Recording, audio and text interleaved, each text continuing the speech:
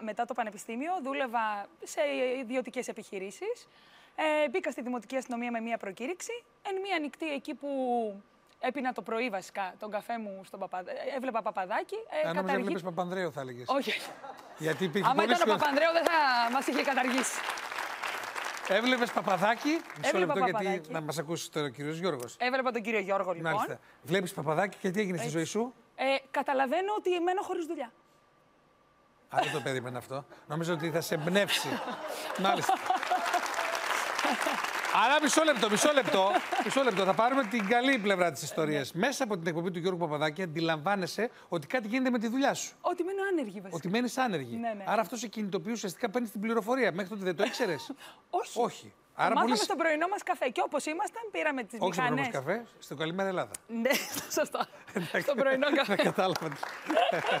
το κατάλαβα. Λέει και φλακατζής. Τώρα θα φτιάξω εγώ. Ε, οπότε αντιλαμβάνουμε. Να λοιπόν πόσο οι δημοσιογραφικές εκπομπές μπορούν να βοηθήσουν έναν άνθρωπο. Να λοιπόν, ναι, ναι. Στεναχώρια μου έδωσε τώρα εμένα. Στεναχώρια, ναι, αλλά όμως και ξεκινητοποιεί για να ψάξεις να δεις τι θα κάνεις παρακάτω. Έτσι, ναι. Και...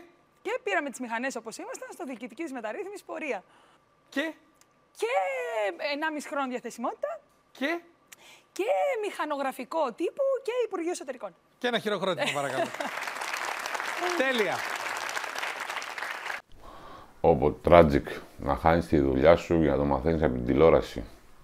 Ε, εκεί που είσαι και πίνεις καφέ, να βλέπεις τις βλακίες στην τηλεόραση και σου λένε: Οπ, υπέγραψε ο Υπουργός απόλυση για αυτούς τους υπάλληλους.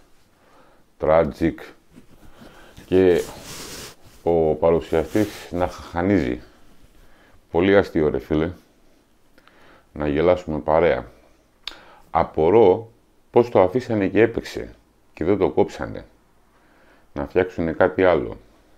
Θα μου πεις είχε περάσει καιρός, οπότε οκ, το γύρισε και ο άλλος, γέλαγε και η κοπέλα. Άρχισε να μου πεις, κάποιες καταστάσεις μετά από καιρό είναι μόνο για να γελάσεις. Γιατί άμα το σκεφτείς, μόνο για κλάματα είναι. Εκλογές πλησιάζουν, το λέω σχεδόν σε όλες, σε όλα τα βίντεο μου, φροντίστε τι θα ψηφίσετε και να πάτε να ψηφίσετε. Φιλιά πολλά σε όλους.